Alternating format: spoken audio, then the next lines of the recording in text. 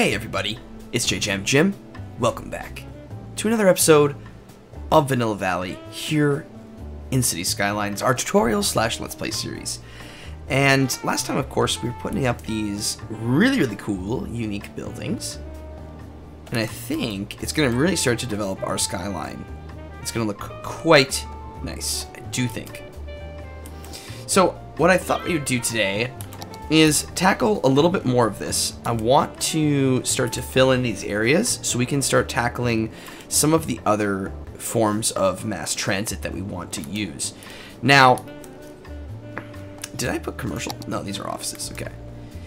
Yeah, what we're running into is a lot of people coming in all at once. And unfortunately, the usage of this roundabout is not going to be ideal most people are going to try to merge. They're, the the Sims don't use roundabouts super well without mods. Uh, I'm not going to lie to you there. they just don't. They just don't use them. They just don't use them really, really well. But hopefully, once we get some more um, some mass transit going here in the city, we won't have that problem. In fact, what we should probably start to do already and since we have money isn't really an issue, is we should take a look at trams and get that going. Now, we do need to put a tram depot down still. See how we can't make this tram line yet. We need to uh, put down the depot. The depot needs to be off of a road um, that has trams to it. Uh, but I think what will be the best bet... Hmm, here's what we should do. So obviously in our tram roads, we have several different options, right? We have the, the four lane, the two lane one way, the uh, two lane road in general. Then we have a just tram track and then a single tra way tram track. And that is what we used over here.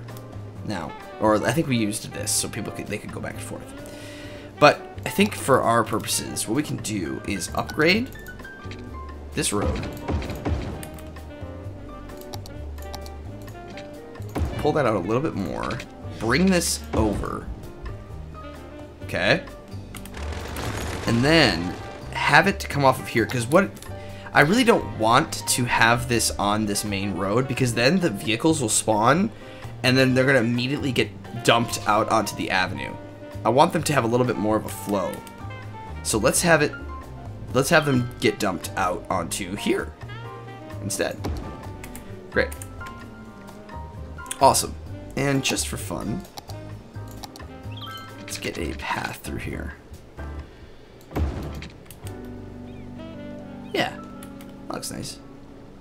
And we won't actually need this, but what I think we might do, and this is probably going to be mostly for looks. I don't anticipate us using this, but let's do this, and then let's grab the one-way track and just make a small little cul-de-sac like we've been doing.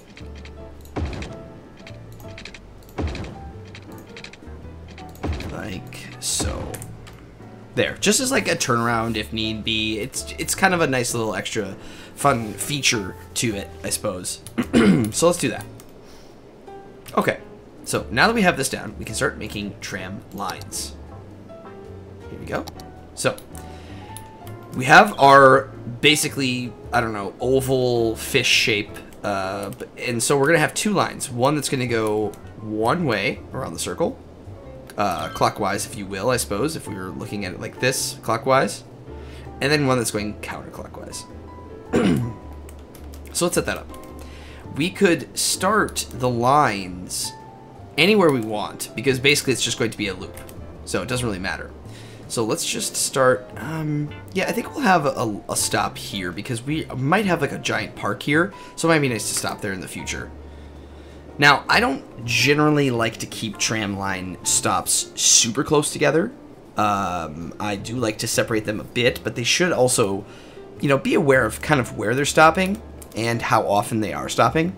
Um, if they stop too much, you're not going to have a lot of people at each stop, right? Because they're going to be able to walk to certain stops, or if you have too many frequent stops, then they're stopping all the time and they're blocking up different things, and that's not what you want either. So make sure that they're separated enough, but you're gonna, you kind of learn to judge how far things are just from experience, and truthfully, I don't really even know what's what's ideal, especially on buses. Trams, I think I've gotten that somewhat down, but buses, I have no idea. I really don't. It's hard. We'll tackle buses in, in, in a later video as well, but... Okay, so I'm going to make a stop here. Um, we have a park and some different things. There's also a crossing to the other side over here, which I think will be very helpful to our, um, our sims. Okay? Get some smiley faces there. so I'm going to skip this one. That feels a little too close to me. Perhaps it's not, but it feels close to me. So I'm going to do another stop there.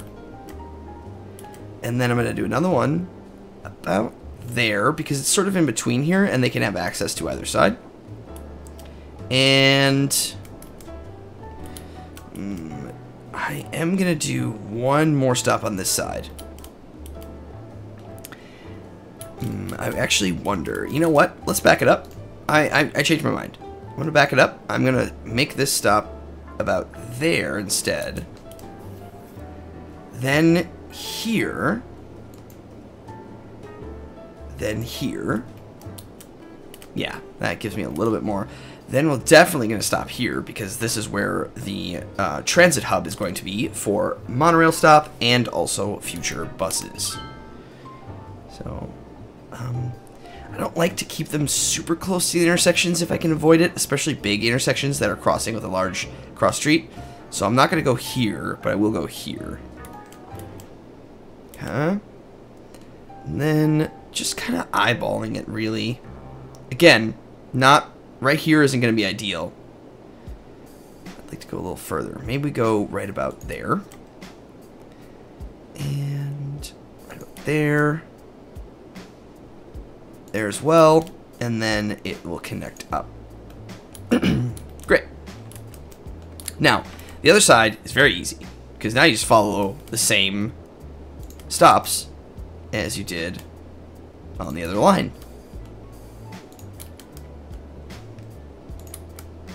By the way, we're listening to the jazz station today. And if you don't, here's the thing. Lines can get finicky and sometimes unwieldy, and if you make a mistake, you can often right click to back up. But if you make a line and you're trying to move a stop and it's not working or whatever is just clogging you up, just go into this little magnifying glass, click on the line you want, and just get rid of it and start over. Just redraw it. Honestly, I, I found that sometimes if you're trying to edit a line and you're getting confused or it's just not cooperating with you, just delete it and try it again. It's not the end of the world. Alright, so as far as our trams are concerned, I'd like to make them our Triple J green color. Because why not? Let's do that for both lines. Try to match it up as best as possible. Well, that looks about right. And now what you can do too is if we go into our lines, this is, if you hover over this, it will start to highlight and flash which line is which, which is very cool. So I am going to make this one our northbound line. You don't really need to label them if you, if you don't need to, but if you have a ton of train lines, tram lines in your city, which I don't anticipate we're going to have many more than this, but if you do, it's good to name them because it's helpful when you're trying to figure out, you know, all the different things. So, as you saw, they kind of spawned out of here. You, what you can also do, and this came with Mass Transit uh, DLC is it will show you how many vehicles are on each line, and you can also see where they are on the line, which is really cool and very helpful. As you can see, they are getting very filled. Now, some of the later ones are not as much, but there's 242 people at this stop. It's quite a bit of people. So people are definitely, definitely using this. And you can modify how many vehicles you have. Um, here, we can slide this. Can we move this? No? I thought we could move this. Oops. Uh, let me go back into that menu real quick. Okay. So, you can also modify how many vehicles. So you can add more. This just... I don't really know how this is calculated, to be honest with you. I think it's based on how long the line is. Um, oh, here we go. It counts on the public, the budget transit transport budget and this modifier. But as far as how it determines how many vehicles to spit out, I don't quite know what that algorithm is, truthfully. Um, but sometimes I do find that the AI spits out a very good number of vehicles. This to me feels like it's maybe a bit much. You can kind of gauge how many people are at your stops. This feels like maybe it's a little much. So I'm going to go down to, say, eight vehicles. And now three will get kicked out. Southbound. Um... Oh, interesting. Is it doing it for both? Oh, I see. I have to click on the other one. Gotcha. Okay. Now, northbound, or southbound seems to have a lot more than northbound. Isn't that interesting? It's possible that because this was made second, it spit out all the vehicles and they already had one go around. I think that might be the case because they're all kind of bunched up in the same spot. It's tough. You you know you can you can you could take a look at this forever. Um, but much like traffic, um, make make a choice, make a decision, um, and then leave it for a while before coming back to it. Because if you make too many adjustments all at the same time, you're not going to really know which one is actually impacting it. It's because there's, you know, there's a lot of people here. But as these start to spill in... Let's go back to the northbound line. 14, yeah, because there's only, you know, there's three... This one's full. It's sort of like we need a few more between here. It's kind of hard to to separate them, you know, kind of, you know, keep them. But as they move and as they have to like stop at intersections or things, they will start to kind of separate a little bit more. They won't be all so bunched up, ideally. But yeah, so these two are going to be coming here. You know, it's not like there's a flood of people, right? It's uh, 40, okay. It's pretty substantial. Yeah, these are all starting to make their way down, though, because these are all empty. So...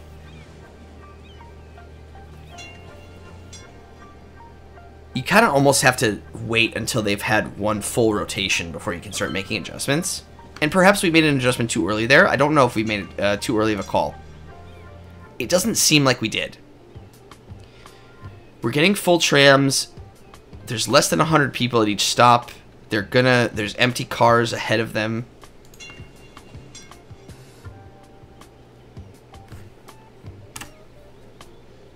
bump it up to 3 speed just to see how this all operates. Because, yeah, these are all full. But as these start to snake down... Because what you want is full cars, right? Because that means that every car should be full. That that would be ideal. Because that means that you're not overspending. You're not having... You're not wasting money on too many cars. But you also don't want, you know, a thousand people waiting at a stop, right? Yeah, these are starting to fill up it's interesting that one way.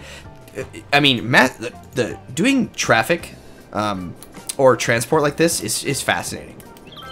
It truly is. Truly, truly is. I always futz with it. I always make it better, for sure. But yeah, this is a nice quick walk for them to come down. I might even... Now, when they're coming off of here, can they... Here, what I'm going to do is go rogue right here.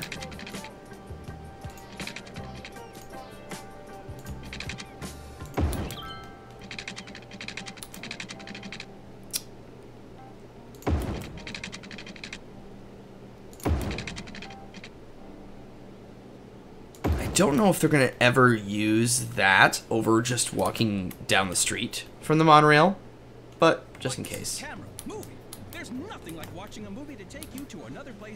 Yeah. Cool. Well, that's good that we have that established. That will hopefully take some of the cars off the road. That would be uh, that would be ideal. However, you know, this straight shot through here is still probably going to be faster, especially for like these internal areas, and that might mean a nice bus route going up and down this this strip. Because we have trams going on the outside. Putting a bus route up and down here may be a nice thing to have. Yeah, because buses can get really confusing at times too, and we'll tackle them at a later date. But we have a lot of demand for industry, which is great because we need to put down more offices, which we shall do. So kind of pop some in there. Pop a little bit of commercial, some more offices. They're coming in right away. Let's do a big pocket of that there. I kind of want commercial to be... I think we'll do some residential. We haven't done a lot of residential or, you know, really any on this side, but facing the park like this, I think would be really, really nice. And then these can also be apartment buildings. I think we may have talked about these being commercial, but I think I'd like them to be residential instead you know, overlooking the park, like that's that's high property value right there. This can all be that.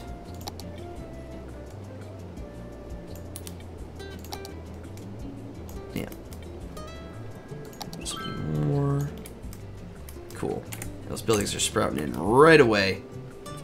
Right away. And that's really good. These are all abandoned, and I'm not real sure why.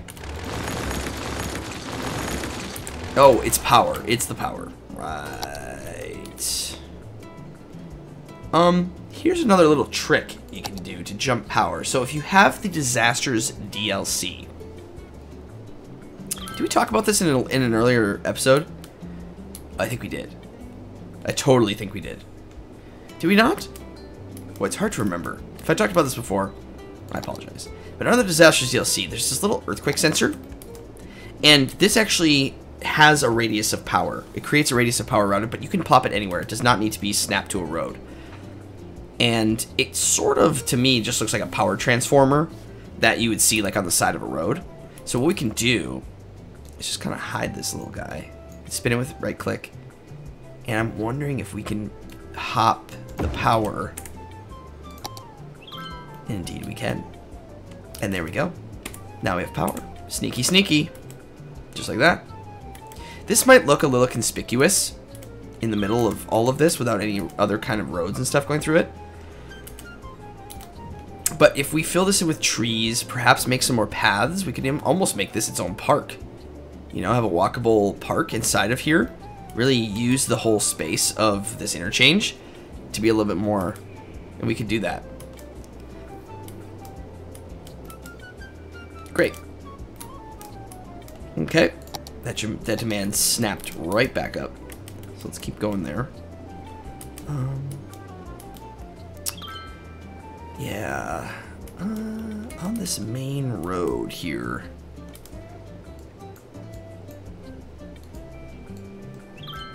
Let's do some more there. This can all be as well. Same with right here. And we can always put down more unique buildings later. We can, we can put down more plazas, more parks, and things like that. But for now, until we kind of get a lay of, of the land a little bit, I think it's going to be okay that we just sort of do it this way. Yeah, see what's happening here is see how they're all trying to merge? They're not even really... Wait a minute. Well, maybe if I wasn't a fool... This is the wrong type of road. It's not even two lane. This I had, for some reason, as two-way highway. Yikes. But see, that happens, right? You make those mistakes. I was wondering why this is looking so weird. And I didn't do it anywhere else, so that's good. Because what was happening is, because this turned into a two-lane, you know, one lane going each way, they were all trying to merge into the right lane. And they're still going to try and merge Goofy like this guy. They're all going to, yeah. You know, they think, I need to be in this right lane now because I would need to turn right all the way over here, you know. And it's just, how they process their moves can be a little funny. It is kind of interesting how that really almost didn't help this. It only just made this probably this roundabout more compact now. But again, so many of these are cars, right? If we can get some of these cars off, and it's a lot of people that are just moving in. We're going to have a lot of that right away. So we can't really judge that traffic until this is kind of all filled in and settled and everyone is just sort of going about their regular daily life. And if we're still having trouble, then we can make adjustments. But let's not get too hasty with it right away. Again, I think this is going to be more like a, a leisure district. Did we determine that? Yes, we did. So this downtown is going to be sort of like high density. This side is going to be more tourist, um, or maybe not even tourism, leisure, I think. Tourism, we'll, we'll probably do it at a different island for tourism. Excuse me. Yeah, I think that's going to be the, the way we go with that. Cool. All right, we have some death problems. I am, you know what I'm going to do?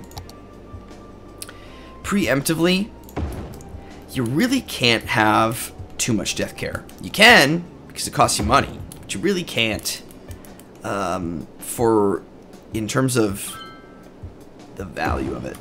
It's just really handy to have because you just don't want dead people backed up because then it just makes people upset and and for good reason, right? I don't want dead people just hanging out and you know, it's just it's not ideal. Lots of backup. Yeah, and they're all trying to, of course, get into this far right lane. Some do use the middle, but, you know, most don't. Oh, I have dynamic weather on uh, because of our stream that we are doing. We have dynamic weather on because we're doing a snow map right now. Um, I'll leave it on. I'll leave it on for now. Still more demand for industry or offices. Wow. I think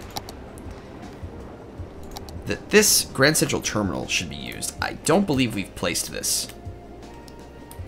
No but I think it should be built, and I'm going to put it actually right over here. It's going to take away some of those offices, but I think that is a handsome, quite a handsome building to have. Yeah. It's not tall, but it's it's got a nice edge to it, and of course, you know, it it feels feels it's like a really nice building. I like it. But what I was looking for is Where's that office park? Where's that office park at? Official park. Oh, did I already put this down? Where did I put this?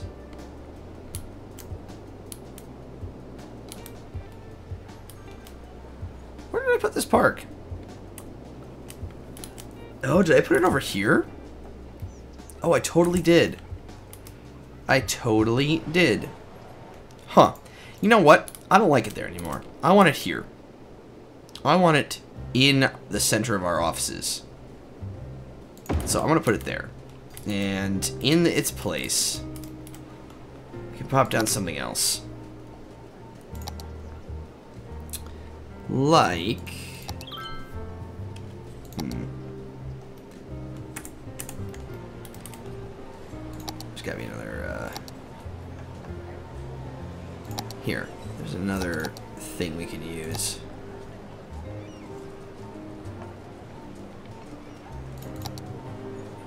It's a tricky part about vanilla and only being able to use those buildings once. Oh, would this fit there?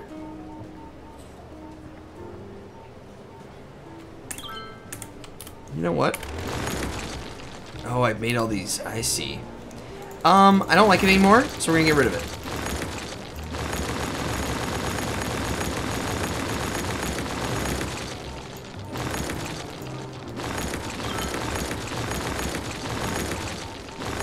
Don't ever be afraid to change your mind. That is the beauty of this game. Hot diggity.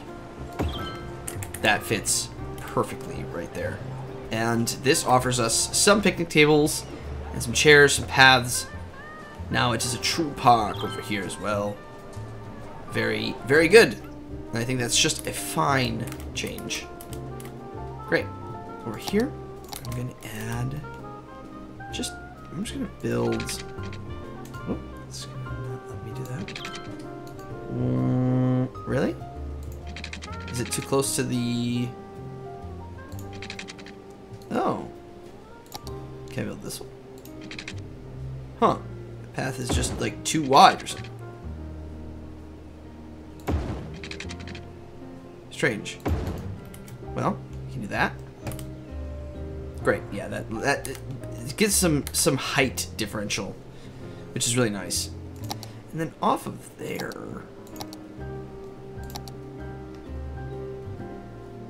Hmm. Mm, not quite.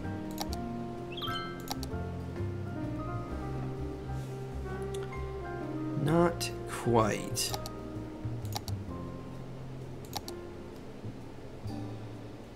Mm, yeah, playground doesn't doesn't feel right either. Actually, that also fits right there. Same kind of park. And then we'll just put this path on it. I can't do that, but I can go as close there and then it'll just sort of end. That's gonna be okay. More parks. They love their parks. More offices? More offices? All this. Great. Yeah. See how our demand for residential is so low? That's actually, I'm a little shocked by it. A little shocked.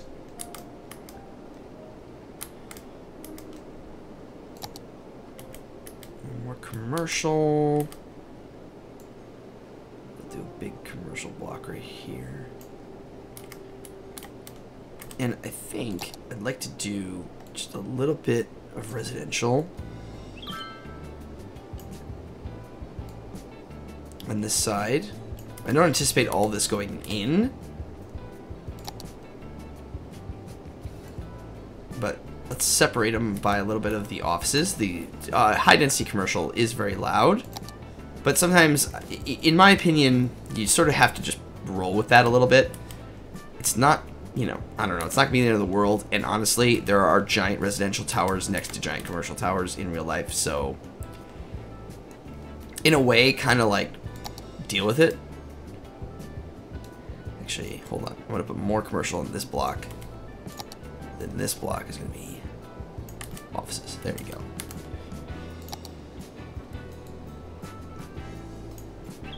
Definitely along there. All definitely going to be commercial.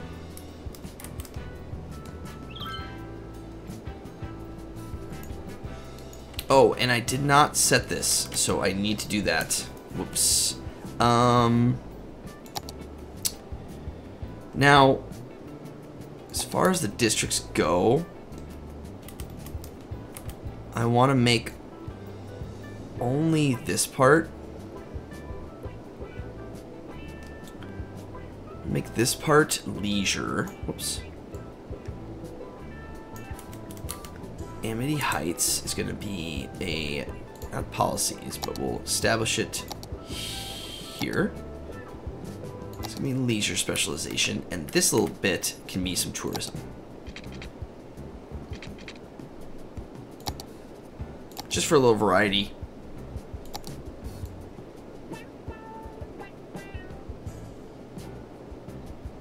Actually, maybe I should flip it the other way.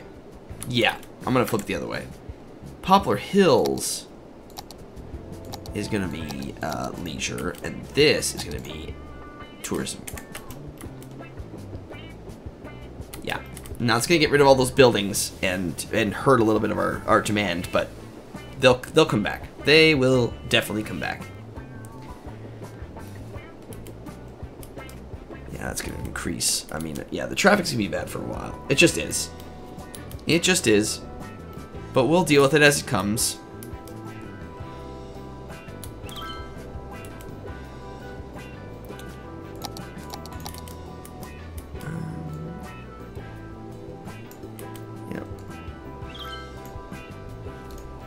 Um, I want to actually put anything in front of this, even though it's on this road. Well, can I have it on this road? Oh, I can't. See. That's why I didn't do that. I was like, why didn't I put on this road? road? That's why. But I don't think I'm going to put anything on here just for that reason. I want I don't want there to be a building blocking the arch from view. Yeah. Everybody, I think that's going to do it. I think that is going to do it for this episode. We are expanding, expanding, expanding. And more importantly, we got our transit hub down. Um, not our transit, our tram hub down, and that is really, really great. Awesome. Everybody, thank you so much for watching. I really, really do appreciate it. Please put any suggestions or thoughts or comments in the comment section below. And I'll see you in the next episode of Vanilla Valley here in Cities Skylines. Bye, everybody.